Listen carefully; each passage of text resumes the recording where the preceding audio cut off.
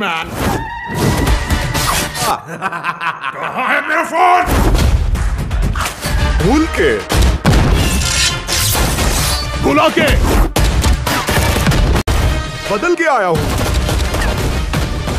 दोस्तों, साउथ की blockbuster movie जिसका नाम है मार्क एंटनी और सुपरस्टार विशाल लंबे समय के बाद एक बहुत ही बड़ी ब्लॉकबस्टर मूवी दे चुके हैं। और मार्क एंटनी मूवी ने बॉक्स ऑफ़िस पर जिस तरह से सफलता हासिल की है मेकर्स को शायद इसकी उम्मीद भी नहीं रही होगी। जी हाँ दोस्तों, मार्क एंटनी जो की एक एडवेंचर फैंटेसी मूवी है, जिसको पंद्रह सितंबर को सिनेमा घरों में रिलीज़ किया गया था और रिलीज़ के बाद इस मूवी को मिले जुले रिव्यूज़ मिले थे। जहाँ कुछ क्रिटिक्स ने इस मूवी को दो ऐसी ढाई स्टार की रेटिंग दी थी वहीं कुछ क्रिटिक्स ने इस मूवी को साढ़े तीन की स्टार की रेटिंग दी थी। वहीं अगर बात करें पब्लिक की तो पब्लिक को ये मूवी बहुत ही ज़्यादा पसंद आई है, जिसका कारण ये है कि ये मूवी बॉक्स ऑफ़िस पर धुआंधार कमाई कर रही है। और अगर बात करें इस मूवी के टोटल अब तक के बॉक्स ऑफ़िस कलेक्शन की तो मैं आपको बता दूँ कि इस मूवी ने 35 करोड़ से ज़्यादा का बॉक्स ऑफ़िस कलेक्शन कर लिया है, जबकि इस मूवी का बजट केवल 40 करोड़ है। और अभी भी ये मूवी बॉक्स ऑफ़िस पर ज़बरदस्त कमाई कर रही है। वहीं अगर बात करें इस मूवी के आई